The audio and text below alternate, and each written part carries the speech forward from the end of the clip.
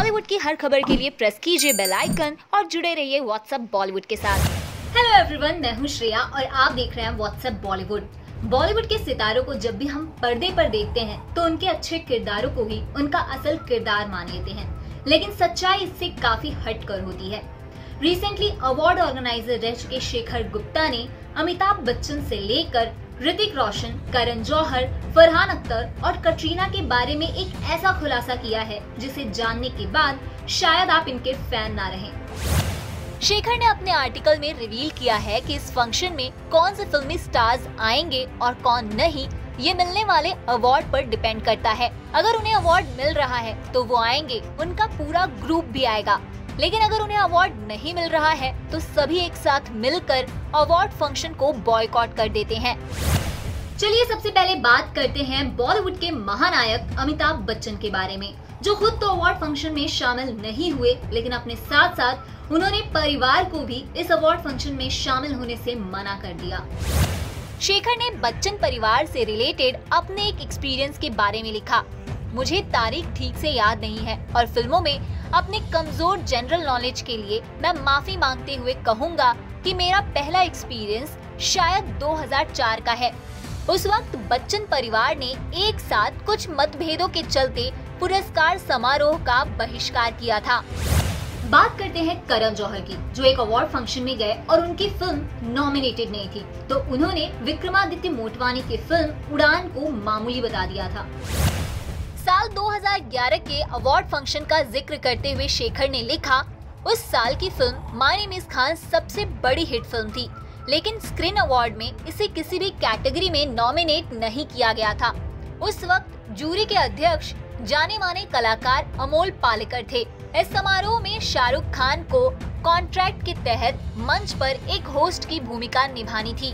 समारोह के तीन दिन पहले मुझे बॉयकॉट करने की धमकियाँ मिलने लगी। करण जौहर मुझसे शिकायत कर रहे थे कि आखिर जूरी को उनकी फ़िल्म किसी भी अवार्ड के काबिल कैसे नहीं लगी।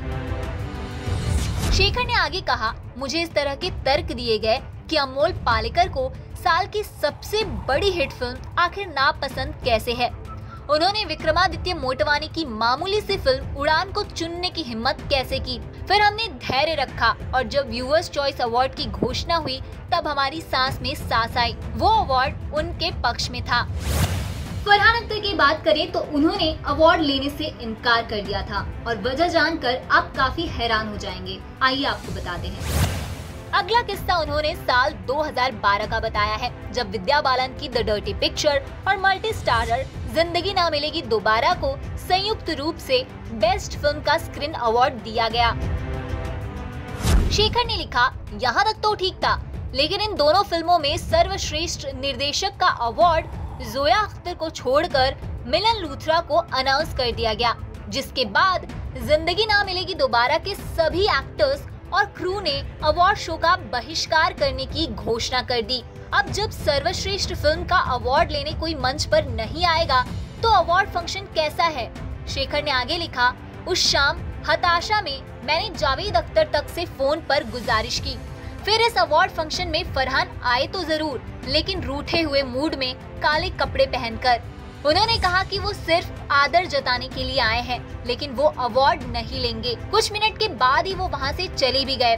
उस फ़िल्म के निर्माता इरोज नाव की कृषिका लुल्ला उस समय वहाँ मौजूद थी। हमने उनसे गुजारिश की, लेकिन वो तो एकदम ही शौक रह गई आखिर सभी एक्टर्स के रहते हुए वो पुरस्कार कैसे ले सकती हैं?